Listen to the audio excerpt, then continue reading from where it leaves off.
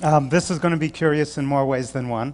Um, this is Ted, uh, and Ted is a uh, beaver sculpture, and he's going to be the mascot for our talk. So we'll leave him right here. Um, and we're going to, uh, uh let me tell you, um, I'm going to use a whole bunch of these in the pictures, but let me tell you what a beaver sculpture is. A beaver sculpture are things I take out of the water or off the land, never off the dams or the, uh, or the lodges clean them up a little bit, and collect them. So that's Ted, and he's, uh, I christened him Ted for today, and he's going to be our mascot. Uh, I should say that these beaver sculptures that I'm using have not been exhibited at MoMA, at the Museum of Modern Art in New York, um, but they're relentless and maybe they're curious, so maybe uh, with a little luck we'll, uh, we'll get there someday. So um, I'm calling this Capturing the Curiosity of Beaver, and it follows perfectly with the uh, with, the, with we just heard, but not with that kind of charm. And I'm going to link kind of beaver sculptures with educating all kinds of adults. So we're going to start that way. Ted is curious. Um, he's relentlessly curious, and beavers are relentlessly curious, and birds, uh, see if I can get this. Uh, birds are relentlessly curious, and sharks are relentlessly curious, and uh, I think that's a wolf. Uh, it's a, or a merwolf, like a mermaid. Um, um, and, um, and dragons, of course, are relentlessly curious. We've got a dragon there. So all these came out of the water um, as you uh, see them. Um, and, and this is Teddy, and that's his real name. Um, and Teddy is the most relentlessly curious dog you've ever seen in your life. Um, Teddy is going after stuff in the bathroom. Uh, Teddy is looking at the TED Talk on the screen, uh, probably what he's doing right now. Um, and here's Teddy with Thomas. Uh, if any human, if any, sorry, if any living thing exceeds Teddy's uh, relentless curiosity, it's Tama. Tama is relentlessly curious. They're going, uh, the two of them are going after a piece of food, and I will not tell you who won or what he did with it. Um, uh, this is tame by Tama's standards. Um, this is Tama kind of uh, relentlessly curious about a salt and pepper shaker. By the way, almost all the photographs, other than of the uh, beaver sculptures, um, were non, with one important exception we'll get to, were not staged or posed. Uh, they're all uh, kind of natural, and most of them were actually taken before I even knew about the TED Talk. So these pictures are almost more collage uh, than, uh, than taken for the talk, but there are a few exceptions. Um, this is Laura, and Laura is, uh, is Thomas' uh, sister and Ted's, Teddy's uh, friend too, and she's looking at a spider and a bunch of little spiders, and she's very intrigued by that. Um, the, the problem is that kids grow up. That's what you just heard a moment ago, and that's what I'm getting into too. Kids grow up, they get distracted, they, uh, they uh, like to wear jewelry and things like that, and eventually they become adults. Um, and then they seem to lose their relentless curiosity, uh, sadly. Um, uh, here, by the way, is uh, one of the reasons why this is Alain with Thomas. Um, and somebody's got to watch out for boats. Uh, somebody's got to deal with exams, somebody's got to deal with bosses, somebody's got to deal with traffic and look out for boats. Uh, and that gets in the way of our relentless curiosity. Thomas, you'll notice, uh, never loses it. He's right there looking at things. He's got the tiller, so this could be a bit dangerous, but Alain's, watch, Alain's watching out. So, so adults um, uh, just they seem to lose it. I'm not referring to Alain specifically, obviously, but they seem to lose it. Um, but you know what? We all dream in color. Uh, every one of us dreams in color, so we don't lose it at all. Uh, we keep it, uh, but it's hidden somewhere. Um, and uh, uh, it's hidden there. It's hidden somewhere in our heads. In fact, to be more specific, it's hidden in our brains. You all know about left and right hemisphere, split brain all that kind of stuff. So this is, uh, it may look like a rock because beavers actually, I was told by someone, the person who gave this one to me, that beavers, when they don't find rocks at the base of their dams, they make rocks. Um, and so this may look like a rock, but it's actually a human brain.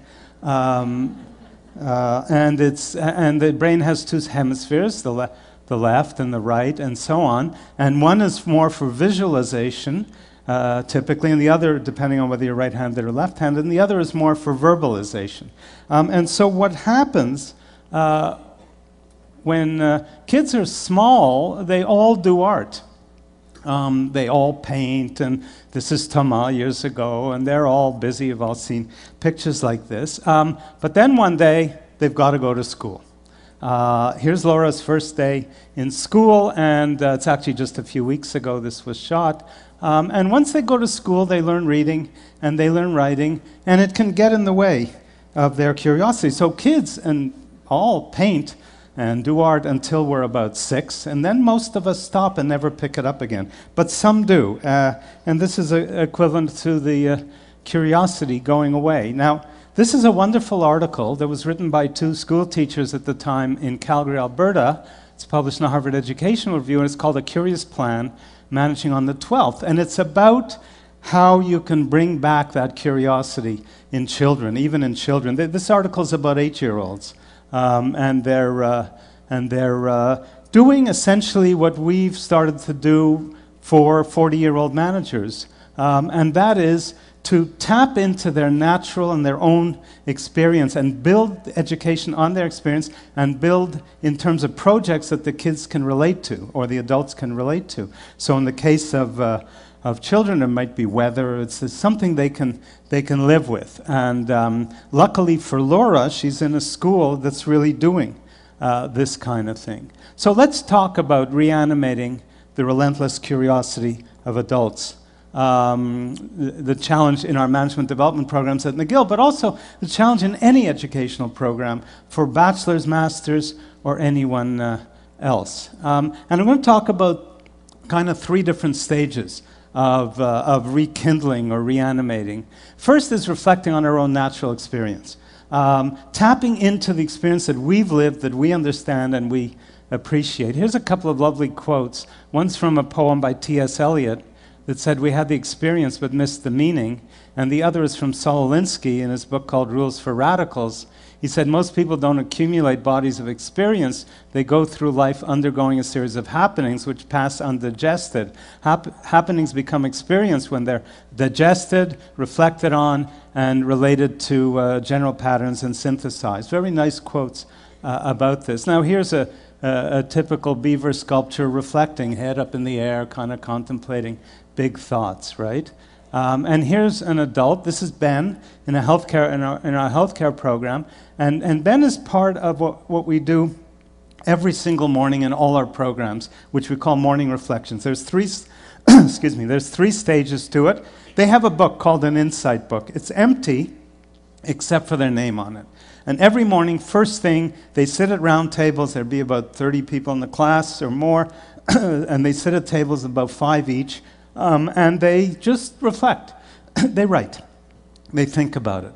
Um, and uh, one of the people who went through the program years ago from Lufthansa, um, uh, she held up the book for her colleagues back at Lufthansa and she said, This is the best management book I ever read.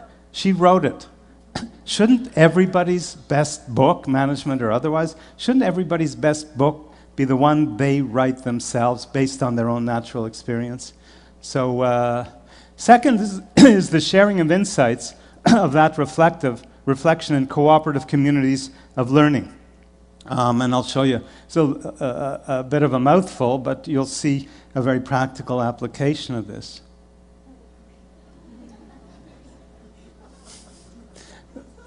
This is the only one that's staged, obviously. Um, we got Teddy to sit still for about 10 seconds. Uh, we got Toma and Laura to sit still for about a minute.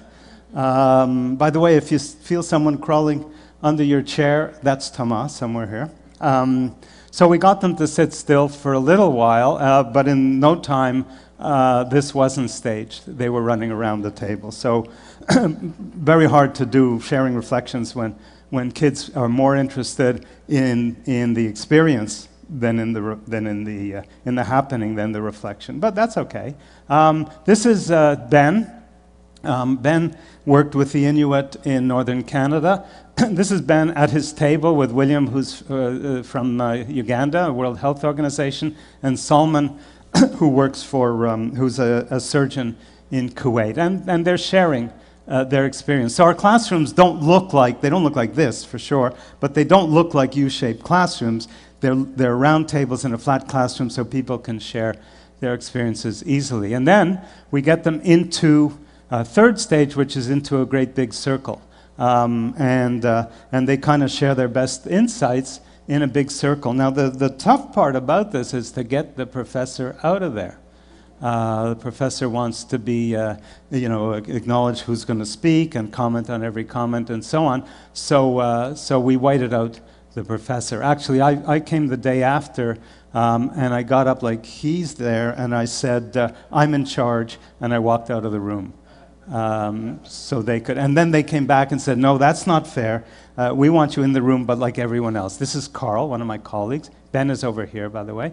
This is Carl, one of my colleagues, who's sitting there like the other people and engaging uh, the, way, the way we like it to happen these days. So, what we're doing is really building community. That obviously is, is a Beaver's rendition of community, right? Um, and so, what we're doing is building community, and we can argue that. Uh, an organization is really, an effective organization is really a community of human beings. It's not a collection of human resources.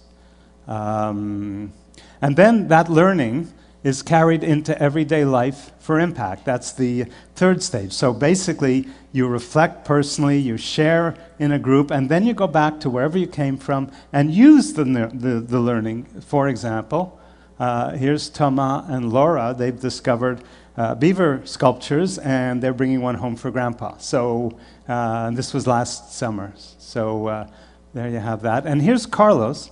Carlos came to one of our programs, and uh, he sent us this, uh, this by email uh, a little while later, and he said, You know, I like the sharing around the table so much that we put one in our factory in Mexico City, and now whenever we have a problem, we reflect around the table. Um, and, and another story is about Phil who's a member of the family, who called and said, I'm having trouble developing my managers. I need to do something to help develop them. We have no budget. What can we do? So I said, basically, get them around the table, get them sharing things and so on. And uh, they did this with a vengeance. They met every couple of weeks uh, for. I eat a cookie, a dad's cookie before I start.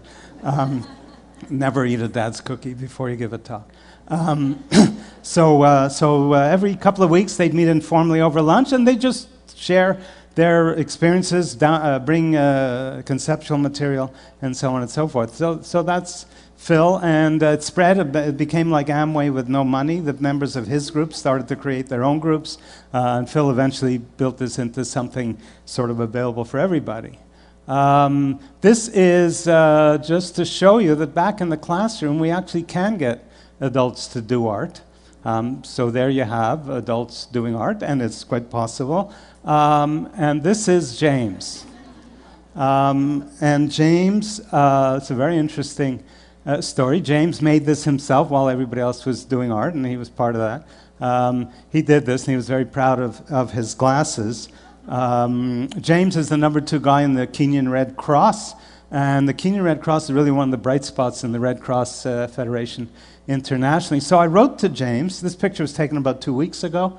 Uh, I wrote to James last week, uh, and I said, James, can we use the picture? It might be circulated. You know, uh, what do you think? And James said, it's okay to look silly now and again, now and then. Um, what more can I say?